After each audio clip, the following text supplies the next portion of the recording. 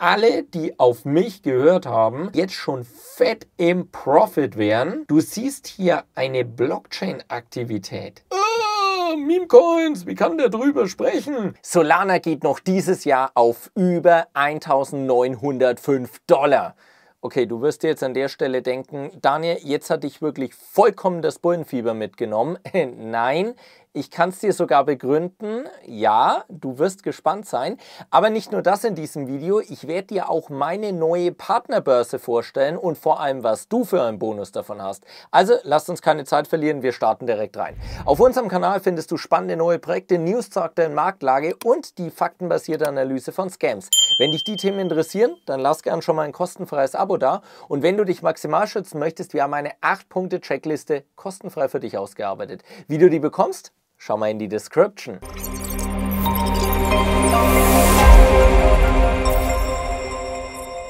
Noch kurz in eigener Sache, wir stecken hier sehr viel Liebe in den Aufbau dieses Kanals und wenn dir dieses Video gefallen sollte und dich auch persönlich weiterbringt, dann wäre es cool, wenn du einen Daumen hoch da lässt, soll den Algorithmus ankurbeln, auch gerne einen kurzen oder längeren Kommentar kurz schreiben. Wie gesagt, dich kostet es nichts, außer ein bisschen Zeit und uns bringt es definitiv weiter und lässt diesen Kanal einfach dann auch die Reichweite bekommen, ihr bekommen solltet. Aber jetzt lasst uns direkt reinstarten. Wir kommen gleich dazu, wie ich auf diese waghalsige Prognose von über 9x noch in 2024 komme. Schauen wir uns mal den aktuellen Wert, zumindest zum Zeitpunkt dieser Aufnahme an.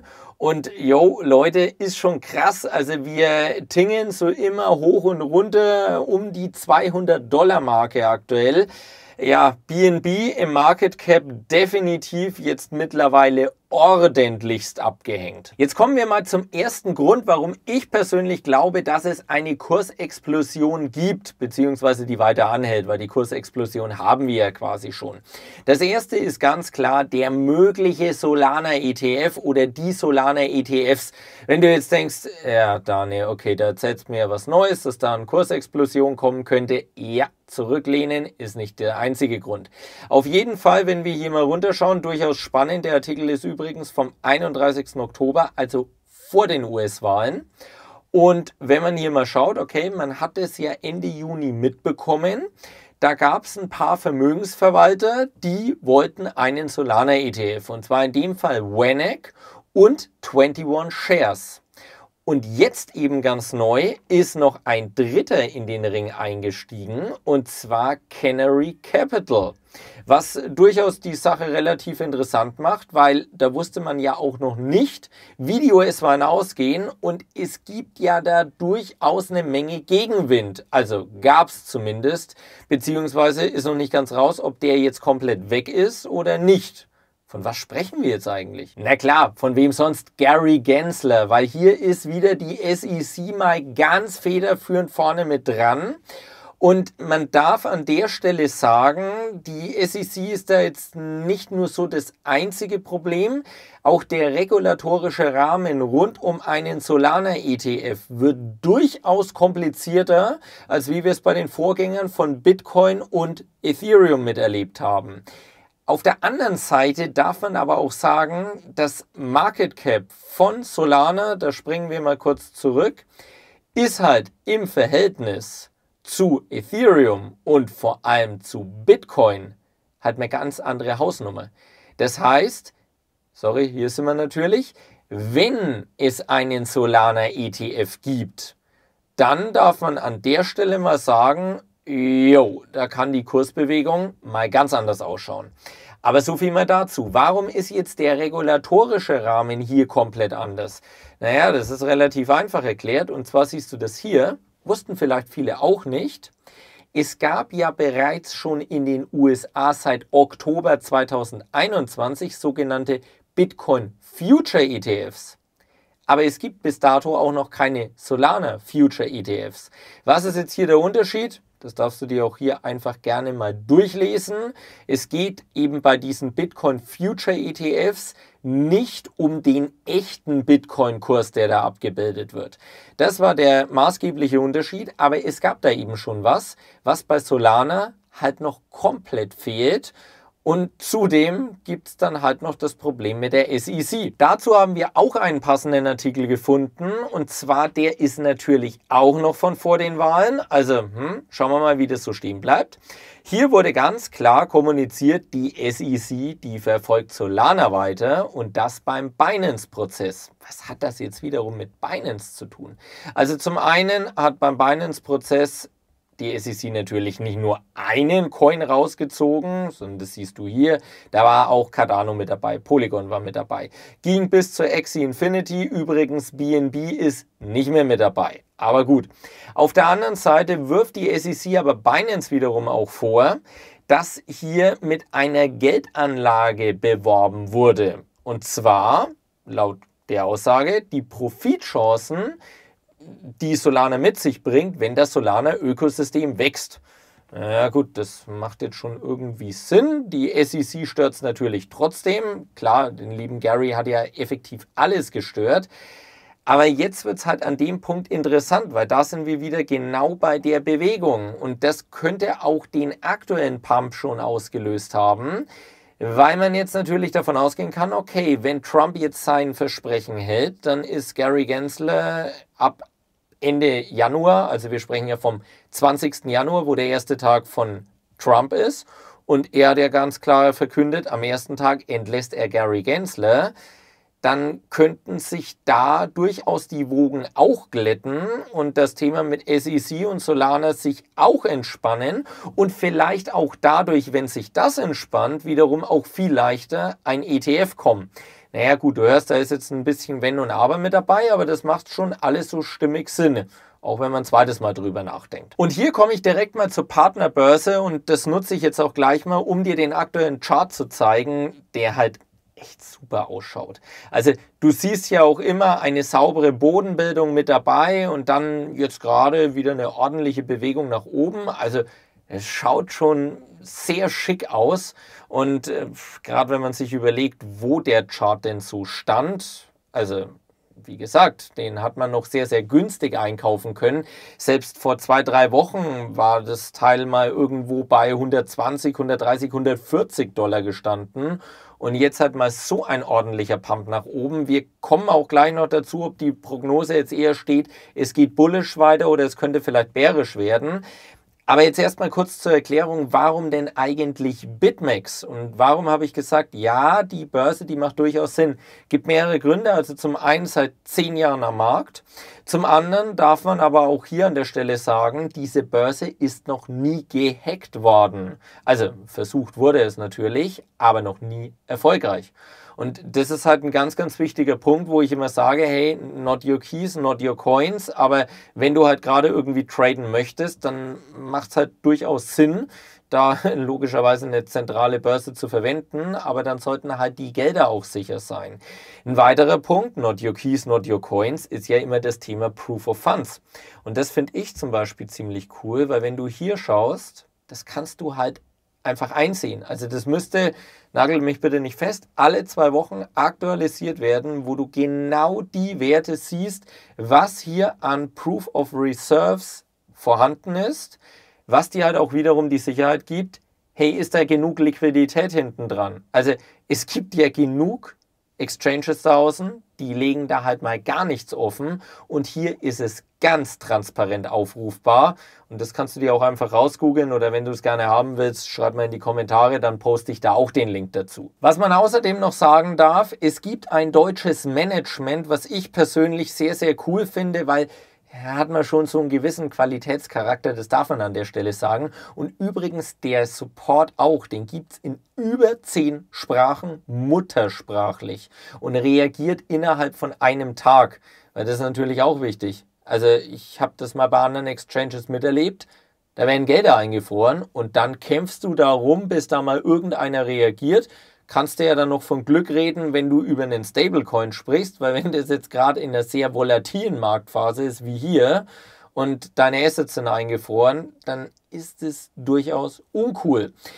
Jetzt ist aber die große Frage, was hat das für dich für Vorteile? Jetzt kommen wir mal zum allgemeinen Vorteil. Wenn du Bock hast, hier ein bisschen mit dem Trading zu starten, ich werde da auch immer mehr mal dieses Thema mit einfließen lassen, dann schau mal gerne in die Description, da ist der Anmeldelink und da bekommst du wiederum einen 25 Euro Gutschein in BitMEX Token, den du dann entsprechend verwenden kannst.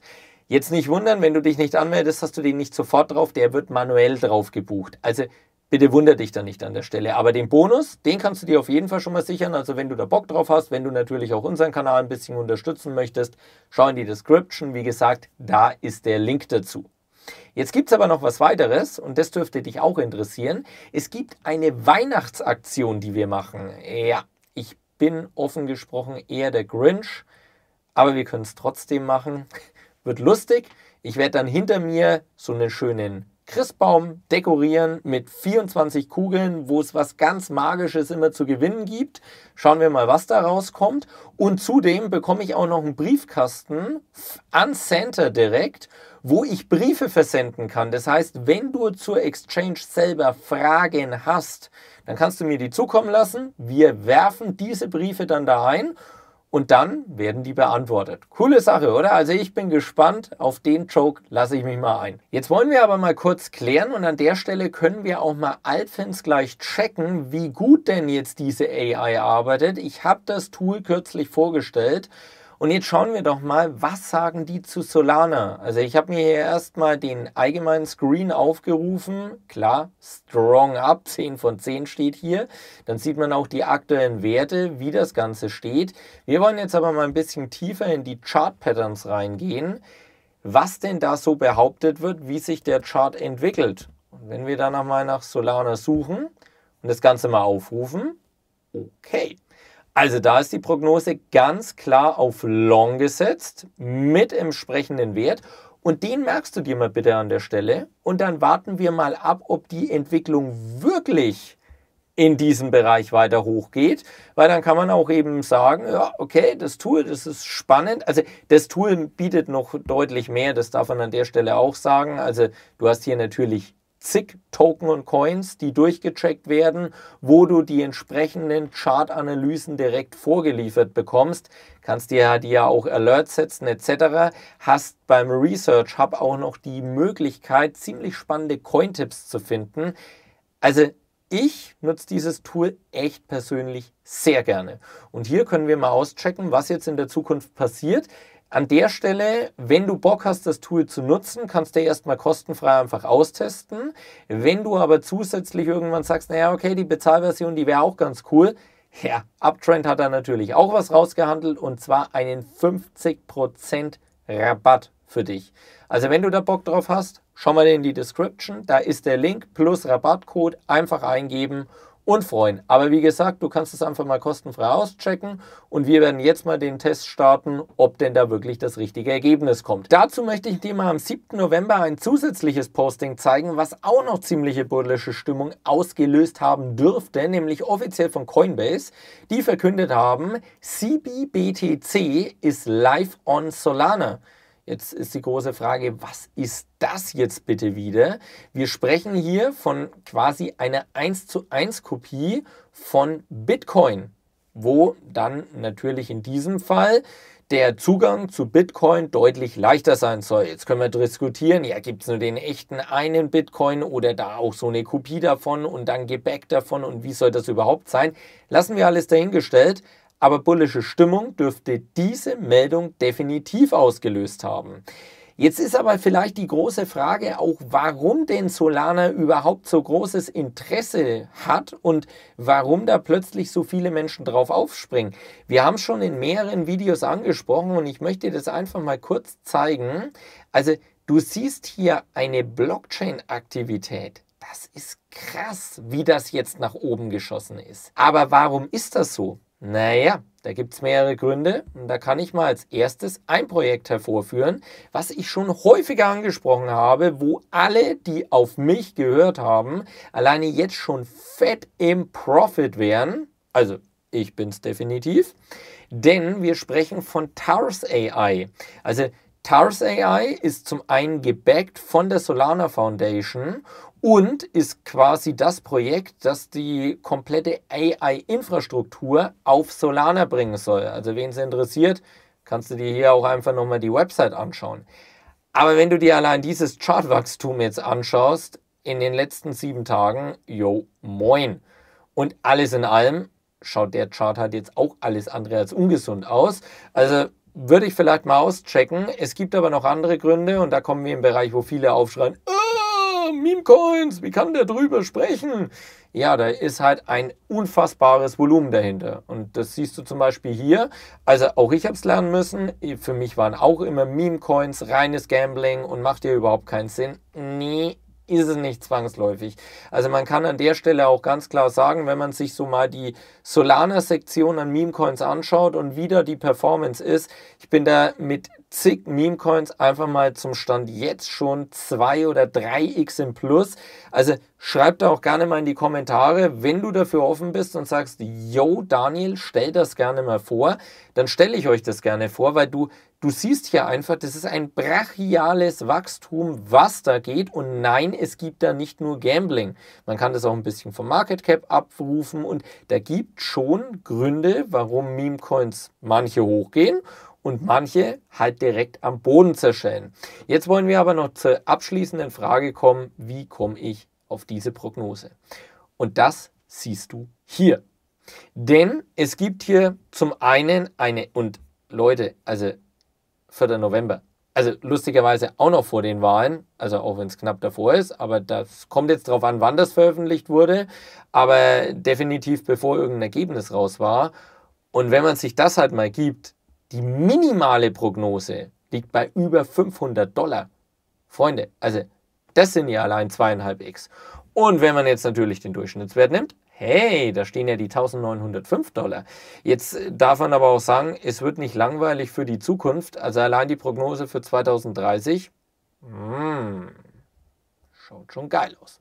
Also daher, man darf einfach mal abwarten, was da jetzt genau passiert, ob das natürlich so eintrifft, inwieweit diese Zahlen validiert sind und wie man auf die Prognose kommt. Das kann ich euch an der Stelle nicht sagen.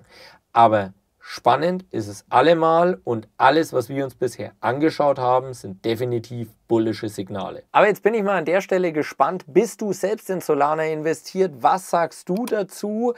Ich bin ja ein großer Fan von so Infrastrukturprojekten. Die Blockchain, die liefert halt wirklich ab, sofern sie natürlich sauber läuft. Darf man an der Stelle auch nicht vergessen, bis vor eineinhalb Jahren, da hat man das Ding voll tot erklärt und plötzlich, zack, geht es halt vollkommen ab. Also bin ich sehr gespannt, ob dann die Auslastung auch wirklich nicht an die Kapazitätsgrenzen kommt. Wir werden sehen. Also schreibt da gerne mal in die Kommentare. Sonst, wenn dir das Video gefallen hat, lass gerne einen Daumen hoch da soll den Algorithmus ankurbeln. Ich würde mich mega drüber freuen. Sonst kostenfreies Abo natürlich auch gerne da lassen. Wir sehen uns im nächsten Video. Bis dahin alles Gute. Ciao.